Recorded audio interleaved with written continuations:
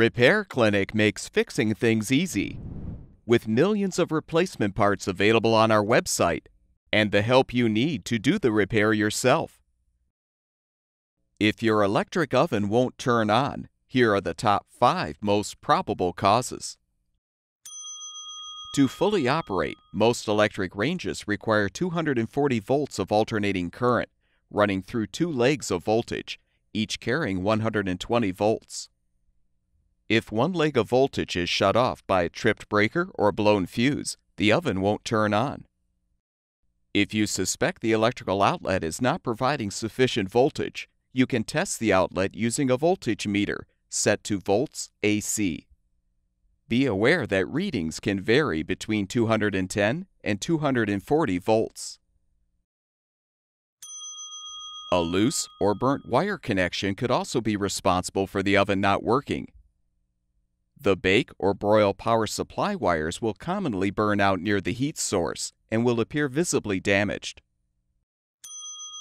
On some models, a thermal fuse will blow if the oven gets too hot, shutting off power to the oven. You can use a multimeter to test the thermal fuse for continuity, a continuous electrical path present in the fuse. If the fuse tests negative for continuity, it will need to be replaced. Depending on your model, the oven control may be switch-based with a thermostat and sensing bulb assembly, or an electronic control board that works with an oven sensor. The thermostat or sensor monitors the oven temperature. When the selected temperature is reached, the oven control shuts off the voltage to the element. This cycle repeats throughout the cooking process to maintain the proper temperature.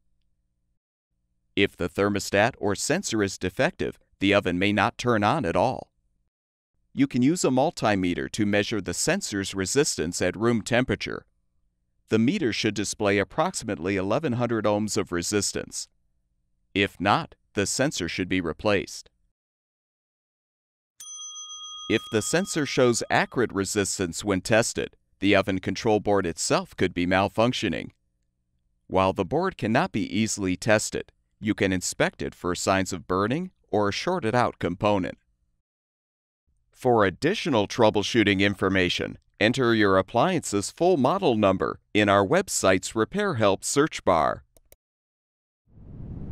At Repair Clinic, we make fixing things easy. Thank you for supporting the production of these videos by purchasing your parts from our website.